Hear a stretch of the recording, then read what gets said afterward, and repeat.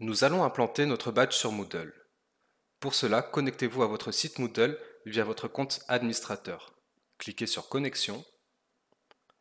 Connectez-vous. Vous voici sur le back-office de votre Moodle. On va aller dans le cours où vous souhaitez implanter le badge. Donc dans Mes cours, puis choisissez la formation où vous souhaitez implanter le badge. En l'occurrence, Créer et gérer des Open Badges. On va aller dans le menu Plus, puis dans Badge. Là, je vais ajouter un badge. Et ici, indiquer toutes les informations du badge, à savoir son nom, sa version, la langue, la description.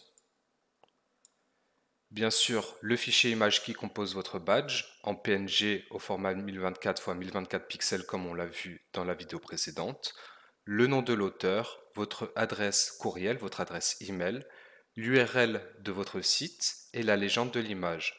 Vous pouvez également ajouter des tags qui sont des mots-clés. Enfin, tout en bas, vous pouvez indiquer une date d'échéance, c'est-à-dire que vous pouvez mettre une date fixe à laquelle le badge ne sera plus valable ou alors une date relative après la date de remise du badge. Vous n'êtes pas obligé de mettre une date d'échéance. Donc voici la fiche remplie avec toutes les informations. En nom, j'ai mis créer et gérer des open badges. Version 1.0 pour dire que c'est la première version définitive qui sera peut-être amenée à évoluer. La langue, c'est en français. En description, il faut être le plus précis et exhaustif possible. Indiquer quel est le badge, comment on peut l'obtenir et à quoi il sert, quelles sont les compétences qui l'attestent.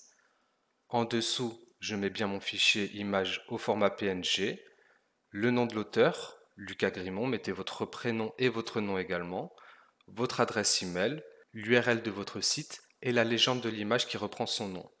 On peut également ajouter des mots-clés pour aider au référencement. En l'occurrence, je vais ajouter les mots-clés Open et Badge. Et je ne mets pas de date d'échéance. Je vais ensuite créer mon badge. Félicitations, votre badge est créé. On va voir ensuite comment attribuer ces critères d'obtention.